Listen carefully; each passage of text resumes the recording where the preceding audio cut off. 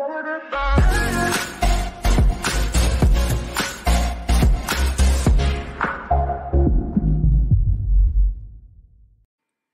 everybody, welcome back to EonPlix Gaming. In today's video, I will show you how to set up color roles using the MEE6 bot.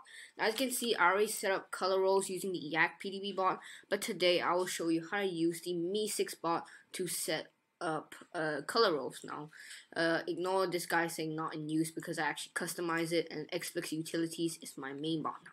So first of all, you want to create your own color roles channel. I already have it created. Now, second of all, you want to go and create your color roles, of course. So now you go over to roles and click add new role, right? And whatever color you want, let's say you want a pink, alright, I'm just going to type in pink here, right?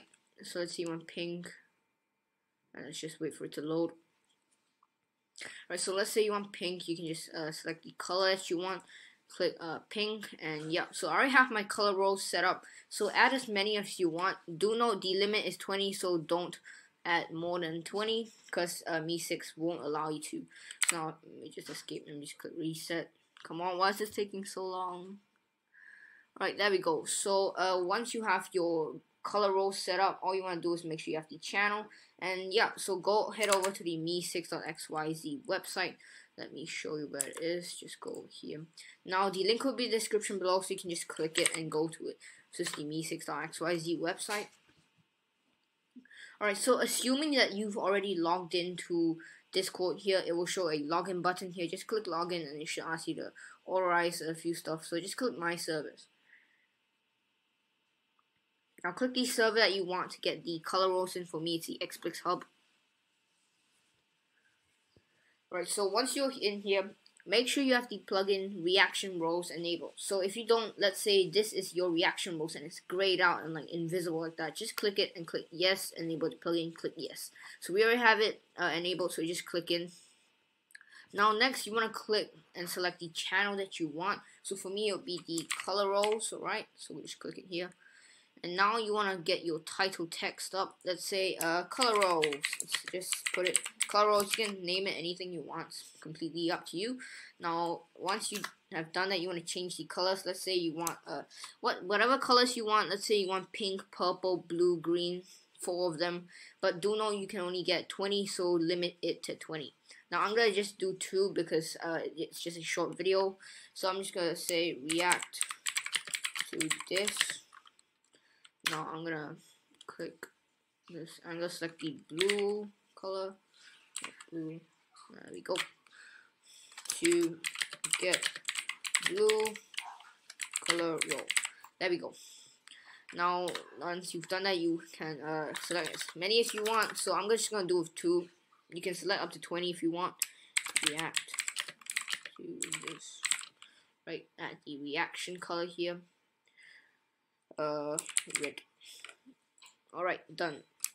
To get red color oh there we go. Now once you've done that of course all you want to do now is of course scroll down. If you want to uh, make it and embed it and make it like customize it I'm just gonna leave it default. I don't want anything yet. So now once you've done that you want to click add reaction. Now for our reactions I'm gonna select red and I'm gonna add the role let's say we the red role there we go. I'm gonna click gonna add reaction. and I'm gonna uh, search up blue. There we go, blue. And just search up blue in my roles. Boom. Now that is all. You just have to select all that. Let's say you have four colors. You just want to make sure you add the color in the reaction, which is the emoji, and then the role, which is your color roles. Alright. So done.